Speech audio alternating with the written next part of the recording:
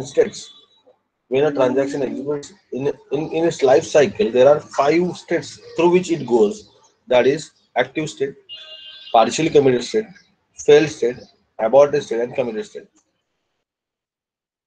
For that, you have to draw this particular diagram.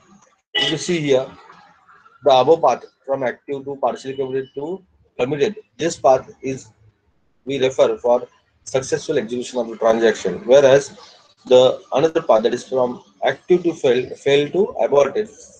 This path we refer for unsuccessful transaction. When we say that our transaction is in active state, when the transaction actually executing, that, that time we can say that the transaction is in active state. The another question is when we say that a transaction goes into the partially committed state or it is in partially committed state.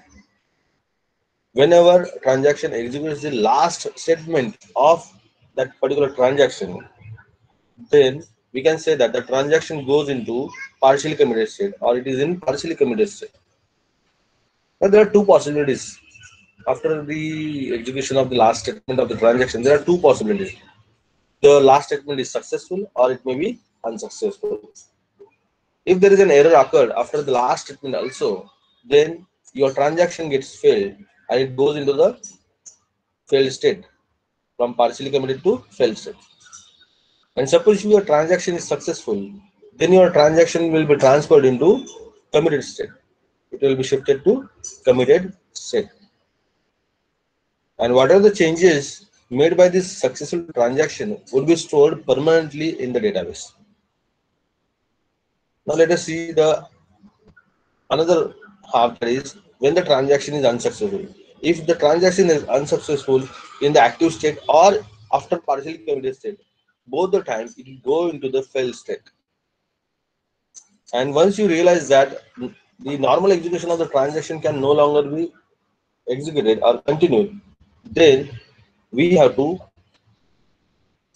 transfer this transaction into aborted state or we shift it into aborted state. And in aborted state, we have two possibilities again.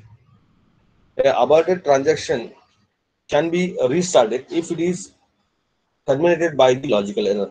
If, the, if it is because of the logical error, termination is because of logical error, then we can restart that particular transaction. And the another thing that we can do with the aborted transaction is that we can kill the transaction. That is second possibility. Right. So this much you have to write about different state in the transaction life cycle. This question may be asked for five marks in the exam.